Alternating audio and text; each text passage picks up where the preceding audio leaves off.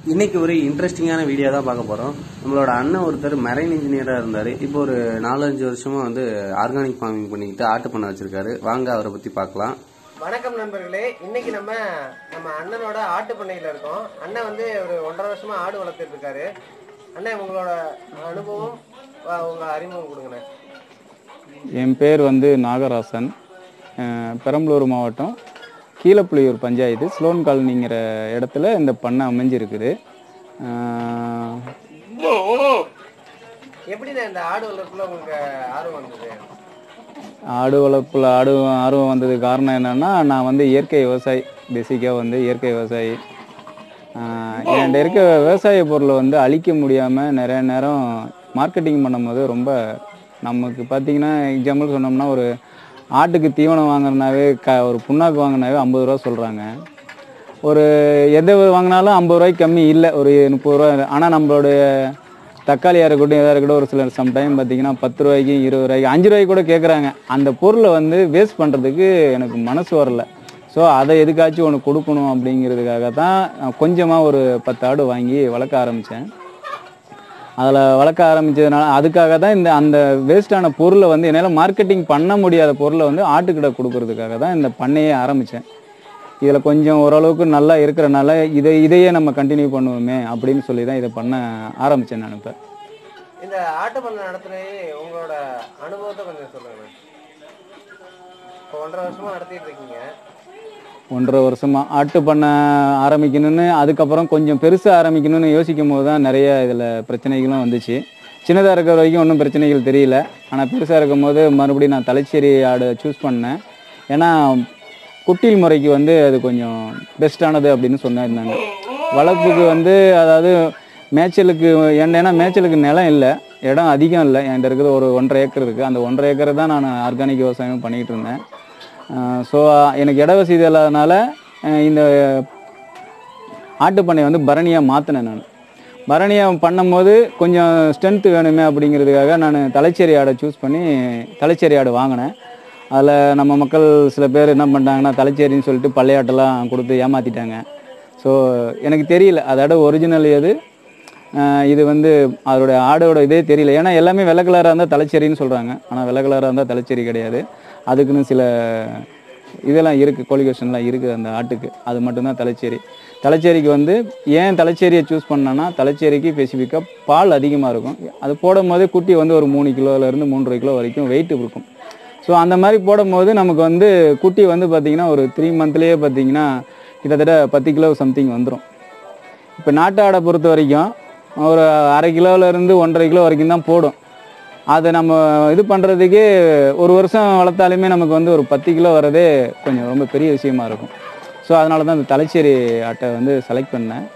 So அதுக்கப்புறமா இப்போ என்ன பண்ணியிருக்கேன்னா தலைச்சேரியோட இன்னும் நமக்கு பெஸ்ட்டாக வேணும்னு சொல்லிட்டு இப்போ தலைச்சேரியும் அது இல்லாமல் இப்போ வந்து நான் ராஜஸ்தானில் சாரி பஞ்சாப் போயிட்டு பீட்டல்னு ஒரு கெடா எடுத்து வந்திருக்கேன். அதாவது தலைச்சேரியில் இந்த பீட்டல் கெடாவை வந்து மேட் பண்ணுறதுக்காக அதில் வந்து காசு பண்ணி ஒரு ஜென்ரேட்டர் எடுக்கும்போது பீட்டலில் வந்து ஆல்ரெடி பார்த்திங்கன்னா தலைச்சேரியோட பீட்டலில் வந்து பால் வளம் அதிகமாக இருக்கும். ஏன்னா ஒரு ஒன்றரை லிட்டர் வரைக்கும் பாலே கறக்கலாம் அதில். ஸோ அதனால் இதுவும் அதுவும் மேட் பண்ணும்போது அதிலேருந்து வர குட்டி வந்து நல்ல க்ரோத் நல்லா இருக்கும். கிட்டத்தட்ட பார்த்தீங்கன்னா ஒரு த்ரீ மந்த்துக்கு வந்து ஒரு பன்னெண்டு கிலோலேருந்து பதிமூணு கிலோ ஒரு மாதத்துக்கு மூணு கிலோ வரைக்கும் வெயிட் வெயிட் ஏறும் அது. ஸோ அதனால் நான் இப்போ பீட்டல் எடுத்து வந்திருக்கேன். அது இல்லாமல் பார்த்தீங்கன்னா ராஜஸ்தானில் இருந்து அஜ்மீர்னு ஒரு இடம் அஜ்மீரும் சோஜத்தும் எடுத்து வந்திருக்கேன். இது. அதில் பார்த்தீங்கன்னா ஒரே ஒரு வெரைட்டி வந்து பார்த்தீங்கன்னா குலாபல்னு ஒன்று இருக்கும். பாகிஸ்தானோட வெரைட்டி அந்த குலா குலாபல்ங்கிற ஒரு வெரைட்டி இது எல்லாமே பார்த்தீங்கன்னா பால் வளம் வந்து நல்லா இருக்கும். எல்லாமே பார்த்தீங்கன்னா ஒரு ஒரு லிட்டர்லேருந்து ரெண்டு லிட்டர் வரைக்கும் பாலே கொடுக்கக்கூடிய திறன் கொண்ட ஆடு. அதுக்காக இப்போ நான் வந்து கொஞ்சம் கொஞ்சமாக தேடி இப்போ வந்து ராஜஸ்தான் ராஜஸ்தான் போக கிடையாது. ராஜஸ்தானில் ராஜஸ்தானும் பஞ்சாபும் போய் எடுத்து வந்திருக்கேன். அந்த குளோபல் மட்டும் எனக்கு கொஞ்சம் வேறு இடத்துல கிடச்சிச்சு. அது பாகிஸ்தானோட வெரைட்டின்னு சொல்லுவாங்க. பூர்வீகம் வந்து பாகிஸ்தானோட இது. அதுவும் நல்ல ஏன்னா அதோட தாயை பார்க்கும்போது பார்த்திங்கன்னா கிட்டத்தட்ட அதெல்லாம் ஒரு எண்பது கிலோ வரைக்குமே வெயிட் வருது. அதோட கிட்டத்தட்ட பார்த்தீங்கன்னா ஒரு ஒரு பல்லு அப்படிங்கும்போது ஒரு பல்லுன்னா ஒன்றரை வருஷம் ஆடு ஒன்றரை வருஷம் ஆடே பார்த்தீங்கன்னா நாற்பது டு ஐம்பது கிலோவுக்கு மேலே இருக்குது வெயிட்டு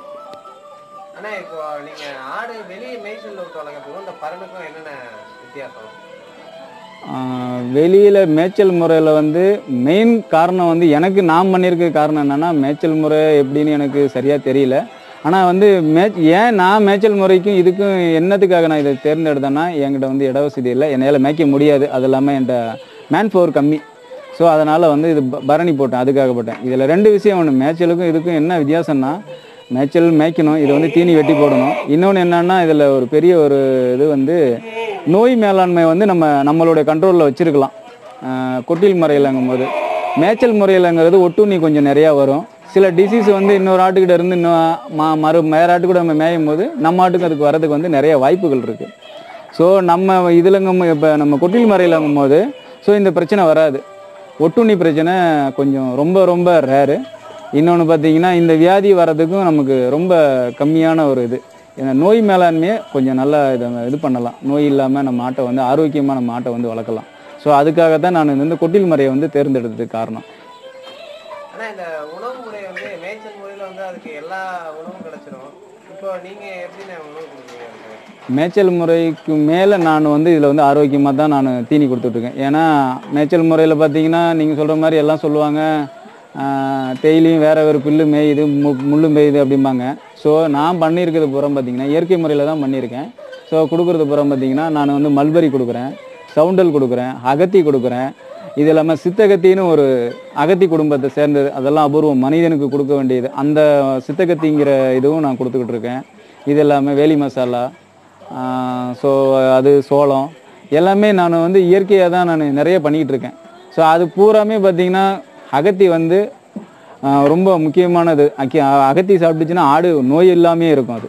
அது மனிதருக்கும் நல்லது ஆட்டுக்குமே ரொம்ப நல்லது. அந்த மாதிரி தான் கொடுத்துருக்கேன் இது எவ்ரிடே நான் வந்து பார்த்தீங்கன்னா ஒரு கிட்டத்தட்ட ஒரு ஏழு வெரைட்டியை வச்சு நான் மிக்ஸ் பண்ணி தான் நான் அதுக்கு கொடுத்துட்ருக்கேன். சூப்பர் நேப்பியரு எல்லாம் சேர்ந்து மிக்ஸ் பண்ணி தான் அரைச்சி அதுக்கு கொடுத்துட்ருக்கேன். ஸோ அதனால் வந்து ஆரோக்கியம் வந்து கெடுறதுக்கான வாய்ப்பே இல்லை. ஆரோக்கியமாக இருக்கும். இன்னும் சொல்லப்போனால் எல்லா போசாக்குமே அதுக்கு கிடைக்கும். நீங்கள் மேய்ச்சல் முறையில் இருக்கும்போது ரெகுலராக எல்லா இடமும் ஒரே நாளும் என்ன வேற ஒரு ஊருக்கு போய் மேய்க்க போகிறீங்க ஒரே ஏரியாவில் தான் மேய்ப்பீங்க. ஸோ டெய்லி மேயிற தீனியை தான் அது சாப்பிடும். ஸோ அதில் ஒரு பற்றாக்குறை இருக்கும். இதில் என்னென்னா நான் கொஞ்சம் அடர் தீவனம் எனக்கு வந்து அடர் தீவனம் வச்சு ஆட்டுக்கு கொஞ்சம் செலவு பண்ணுறேன் அது மட்டும்தான் நான் வந்து எக்ஸ்ட்ரா செலவு வந்து எனக்கு அடர் தீவனம். ஸோ அடர் தீவனம் இன்னொன்று உலர் தீவனம். உலர் தீவனங்கிற மீன்ஸு என்னென்னா அடர் தீவனங்கிறது நம்ம வந்து சோளம் கம்பு புண்ணாக்கு எல்லாமே தண்ணியில் மிக்ஸ் பண்ணி வைக்கிறது. ஸோ உலர் தீவனங்கிறது கடலைக்கொடி சோளத்தட்டை இதை வந்து காய வச்சு நான் வந்து கொடுக்குறேன். ஆட்டுக்கு வந்து ட்ரை ஃப்ரூட்டு தான் கிட்டத்தட்ட ஒரு 70% வந்து நம்ம கொடுத்தா தான் ஆடு வந்து நல்லா இருக்கும். ஸோ பசுந்தீவனம் அதிகம் கொடுக்க கொடுக்க ஆடு வந்து அந்த அளவுக்கு ஹெல்த்தாக இருக்காது. ஹெல்த்துனா அந்த மினுமினுப்பு இருப்பாதுக்கு ஆஹ் இன்னும் சொல்ல போனால் ஒரு ஆடு பார்த்தா எவ்வளோ சாப்பிட்டாலுமே வெயிட் போடாது. ஸோ இந்த அடர் தீவனம் சரி உலர் தீவனம் கொடுக்கும்போது என்னென்னா வெயிட் நல்லா ஏறும். வெயிட் நல்லா ஏறும். இந்த கழிச்சல் இருக்காது ஆடு. எப்பயுமே புழுக்க புழுக்க மாதிரியே இருக்கும். ஒரு சமயம் சில ஆடெல்லாம் பார்த்தீங்கன்னா மேய்ச்சல் ஆடெல்லாம் சாணி மாதிரி போடும் கழிஞ்சிக்கிட்டே இருக்கும். இங்கே அந்த மாதிரி பிரச்சனைகள்லாம் வராது. இந்த ஏன்னா இது கரெக்டானது வந்து நான் வந்து ஒரு ஃபிஃப்டி பர்சன்ட் இப்போ வந்து நான் ஃபிஃப்டி ஃபிஃப்டி தான் கொடுத்துட்ருக்கேன். ஏன்னா செவன்ட்டி செவன்ட்டி பர்சன்ட் கொடுக்கணும். ஆல்ரெடி ஆனால் நான் வந்து ஃபிஃப்டி பர்சன்ட் தான் கொடுக்குறேன் உலர் தீவனம். ஃபிஃப்டி பர்சன்ட் வந்து பசுந்தீவனம் கொடுக்குறேன். இப்படி தான் கொடுக்குறேன். ஆனால் வந்து ஆட்டுக்கு பொறுத்த வரைக்கும் செவன்ட்டி பர்சன்ட் வந்து உலர் தீவனம் வந்து கொடுக்கணும். அது காய வச்சு கொடுக்கறது தான் ஆட்டுக்கு ரொம்ப ரொம்ப நல்லது. என்னுடைய அனுபவத்தில் இந்த ஒன்றரை வருஷ காலமாக இப்போ தான் நான் அதையே கற்றுக்கிட்டேன் ஏன்னா நிறைய இடம் போய் பார்த்து அவங்களாம் என்ன பண்ணுறாங்க அப்படிங்கன்னு பார்க்குறதுல அந்த செவன்ட்டி பர்சன்ட் வந்து உலர் தீவனம் போடுறவங்க வந்து நல்லா வச்சுருக்காங்க. ஆடு வந்து நல்ல அவங்களோட ஆடு நல்ல தெளிவாக இருக்குது ஆனால் நம்ம வந்து பசுந்தீவனமாக கொடுக்குறவங்க பார்த்திங்கன்னா அந்த ஆடு புறமே கொஞ்சம் அந்த மினுமினுப்போ இல்லை பார்க்குறதுக்கே கொஞ்சம் ரொம்ப இது மாதிரி தான் இருக்குது. ஸோ அதனால் நான் சில விஷயம் நான் பார்த்தீங்கன்னா ராஜஸ்தான்லேருந்து நான் ஆடு வாங்கிட்டு வந்தேன். அங்கே பசுந்தீவனமே கிடையாது. எல்லாமே என்ன சொல்கிறது எல்லாமே உலர் தீவனம் தான். எல்லாம் அது ஒரு வந்து பார அது வந்து ஒரு பாலைவனம் தான். ப பாகிஸ்தான் சாரி ராஜஸ்தான் வந்து ஒரு பாலைவனம். அந்த பாலைவனத்தில் மேயிற ஆடு தான் அங்கே வந்து ஒரு இலை ஸ்பெசிஃபிக்கான ஒரு மரம் ஒன்று இருக்குது. அந்த மரத்தோட இலையை சாப்பிட்டுட்டு தான் இந்த ஆடு வந்து எல்லாமே இவ்வளோ growth இருக்குது அது வந்து நாட்டினம் தான் அது. நம்ம அது வந்து தமிழ் கொடிய கொடியாடு வந்து நம்ம தமிழ்நாட்டு நாட்டினம்னு சொல்லுவாங்க. காலம் சேலம் கருப்பு இந்த மாதிரி நிறைய தமிழ்நாட்டுக்கு ஒரு அஞ்சு வெரைட்டி இருக்குதுங்க அது மாதிரி பாரம்பரிய வெரைட்டியில் ராஜஸ்தானுக்கும் ஒரு வெரைட்டி பஞ்சாபுக்குன்னு பீட்டலுங்கிறது. ஸோ ராஜஸ்தானில் உள்ளது தான் இந்த சோஜத்தும் அஜ்மீருங்கிற வெரைட்டியும் நான் கொண்டு வந்திருக்குது. இன்னும் ரெண்டு மூணு வெரைட்டி அங்கே இருக்குது. இதில் வந்து ப்ராப்ளம் வர்றதுக்கு இல்லை. ஏன்னா நம்ம பண்ணுறது வந்து வேற எதுவும் ஜீன ஜீனெல்லாம் எதுவுமே மாத்திரை கிடையாது. ஆல்ரெடி வந்து இது என்ன இதுன்னா ஒரு இனத்துல ஒரு ஒரு இதுல இருந்து இன்னொரு இதை மா இது பண்றது தான் அப்படிங்கும்போது எந்த பிரச்சனையும் வராது. அதுல இதுல இருக்க தன்மையும் அதுல இருக்க தன்மையும் சேர்ந்து நமக்கு வந்து ஸ்பெசிஃபிக்காக ஒரு நல்ல ஒரு இது வரும். அதுக்காக மட்டும்தான் இது மேட் பண்றது வந்து நம்ம ஜீனெல்லாம் மாற்ற போறது கிடையாது.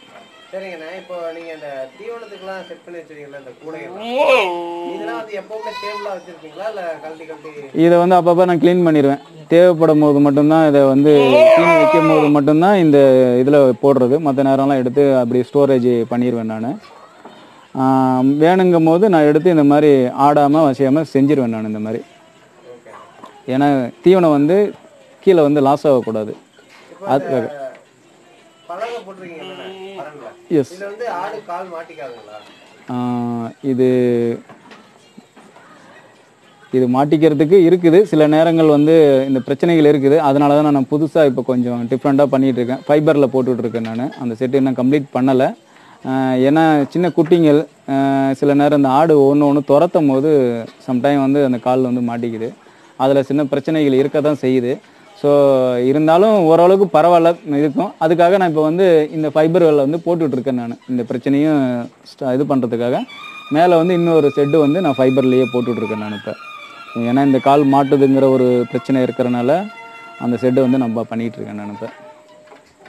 இப்போ இந்த நோய் மேலாண்மை பத்தி கொஞ்சம் சொல்லுங்கண்ணா நோய் மேலாண்மைனா மொத்தத்தில் என்னென்ன சொல்லணும்னா மூணு மருந்து நீங்கள் கொடுத்துட்டீங்கன்னா ஓரளவுக்கு நோயை கண்ட்ரோல் பண்ணிடலாம். அதாவது குட்டி பிறந்துச்சுன்னா ஒரு மாதத்தில் வந்து அல்பண்டஸ் அல்பார்மருங்கிற ஒரு மருந்தை வந்து அந்த குட்டிக்கு வந்து பூச்சி மருந்தை கொடுத்துடணும் முதல்ல. ஸோ அதுக்கப்புறம் முப்பது நாள் கழித்து பென்பண்டஸ் கொடுக்கணும். ஸோ அதுலேருந்து முப்பது நாள் கழித்து கிட்டா கொடுக்கணும். இந்த மூணு மருந்தும் கம்பல்சரி கொடுக்கணும் நம்ம. மூணு மாதத்தில் கொடுத்து முடிச்சிடணும். மறுபடியும் ரொட்டீனாக அந்த அந்த ஆட்டுக்கு கொடுத்த ஆட்டுக்கு மூணு மாதம் கழித்து மறுபடியும் அல்பாண்டாஸ் வந்து மறுபடியும் நம்ம ரொட்டீன் லைஃப்பில் கொண்டாந்துட்டோம்னா மாதம் மாதம் இதை வந்து ஒரு டைம் டேபிள் மாதிரி நம்ம பண்ணிவிட்டு எந்த ஆடு கொடுத்துருக்கோம் அப்படின்னு சொல்லிட்டு இதை வந்து கண்டினியூட்டி பண்ணுனா ஓரளவுக்கு நோய் மேலாண்மையிலேருந்து நம்ம தப்பிக்கலாம். ஏன்னா மற்ற டிசீஸ் வர்றதுக்கு உண்டான வாய்ப்பே கிடையாது. ஏன்னா ஆட்டுக்கு ஏன்னா செரிமான பிரச்சனைகள் வரும். அது ஆட்டோமேட்டிக்காக ஒரு நாளைக்கு சாப்பிடாம இருக்கும். ஆட்டோமேட்டிக்காக இதில் வந்து பொறுத்த வரைக்கும் அதாவே சாப்பிட ஆரம்பிச்சிடும் ஸோ மற்றபடி என் பண்ணையில் வந்து பெரிய ஒரு நோய்ங்கிறது நமக்கு நோய்ங்கிற பிரச்சனையே கிடையாது. இந்த சின்ன சின்ன பிரச்சனைகள் ஆடு வந்து குட்டிங்கள் வந்து என்னென்னா இந்த வயிற்று புழு தான். எல்லாமே இந்த மூணு புழுக்கள் செய்கிற வேலை தான். அது எவ்வளோ சாப்பிட்டாலும் உடம்பு ஏறாது. அதனால் இந்த மூணும் மூணு மருந்து கொடுத்துட்டிங்கனாவே இந்த நோய் மேலாண்மையிலேருந்து ஓரளவுக்கு நீங்கள் தப்பிச்சுக்கலாம். அதுக்கப்புறம் எதுவும் நோய் இருந்துச்சுன்னா நீங்கள் டாக்டரை தான் கன்சல்ட் பண்ணுறது பெஸ்ட் என்னை பொறுத்த வரைக்கும் என்னென்னா ஒரு நாளுக்கு மேலே அந்த ஆட்டை வந்து அசால்ட்டாக இருக்கக்கூடாது. டெய்லியும் வந்து நம்ம பண்ணை வந்து ஃபார்மை வந்து விசிட் பண்ணணும். எந்த ஆடு எப்படி இருக்குது? ஆக்டிவாக இருக்கா? ஆக்டிவ் இல்லையா? அப்படின்னு வாட்ச் பண்ணணும். ஸோ ஆக்டிவ் இல்லைன்னா நம்ம உடனே வந்து அது என்ன ப- எதனால ஆக்டிவாக இல்லாமல் இருக்குது சாப்பிடலனாவே நம்ம உடனே வந்து அதுக்கு உண்டான தீர்வை பார்க்கணும் நம்ம. ஸோ அதை இல்லை நாளைக்கு சாப்பிட்றோம் அப்படின்னு யோசிக்கக்கூடாது ஒரு நாள் மட்டும் விடலாம். அடுத்த நாள் கம்பல்சரி அதுக்கு வந்து இது பண்ணி ஆகணும். அப்படி இல்லைன்னா நமக்கு வந்து உயிரிழப்பு நிச்சயமாக ஏற்படும். ஆனா இப்போ சின்ன சின்ன நோய்கள் வந்துச்சுன்னா நீங்க இயற்கையிலே எப்படி சரி பண்ணுவீங்க? இயற்கையில் பொறுத்த வரைக்கும் வருமுன் காப்பு திட்டம் தான். வந்த பிற்பாடு இயற்கையில் வந்து இந்த மருந்தை கொடுத்து சரி பண்ணுறது கொஞ்சம் கஷ்டம். அதனால் என்னென்னா நான் என்ன பண்ணுவேன்னா வீக்லி ஒன்ஸு நான் வந்து அந்த அடர் தீவனம் கொடுக்கும்போது அதில் வந்து மஞ்சள் கலந்து கொடுப்பேன். மஞ்சத்தூள் இருக்குல்ல அந்த மஞ்சத்தூளை வந்து இந்த தண்ணியிலே மிக்ஸ் பண்ணி எவ்ரி சாட்டர்டே எனக்கு ஒரு நாள் நான் வச்சுருக்கேன். அந்த சாட்டர்டே அன்னைக்கு மஞ்சள் தூள் கலந்து நான் கொடுத்துருவேன். ஸோ ஓரளவுக்கு இதில் வந்து பிரச்சனையை இது பண்ணிடலாம் இன்னொரு மெடிசன் ஒன்று இருக்குது. அந்த மெடிசன் வந்து அதை வந்து ரொம்ப மெடிசன் நிறைய மெடிசன் இருக்குது இதில் வந்து ஒரு இந்த மெடிசன் மட்டும் நான் கொஞ்சம் வாங்கி அதாவது எப்படின்னா செஞ்சு நான் வந்து ஒரு மூணு மாதத்துக்கு ஒருக்கா செஞ்சு கொடுத்துக்குவேன். நல்லா இருக்கும் போதே கொடுத்துருவேன். ஸோ எப்படின்னா என்னென்னா அதாவது வேப்பம் பட்டை ஒரு அரை கிலோ அதுக்கப்புறம் பார்த்திங்கன்னா பெலாமரத்து இலை பெலாமரத்து இலை வந்து ஒரு இரநூறு கிராமு. இன்னொன்று வந்து பார்த்திங்கன்னா நிலவேம்பு பொடி. அதாவது நிலவேம்பு பொடிங்கிறது நம்ம க என்ன சொல்லுவாங்க? அதுக்கு த-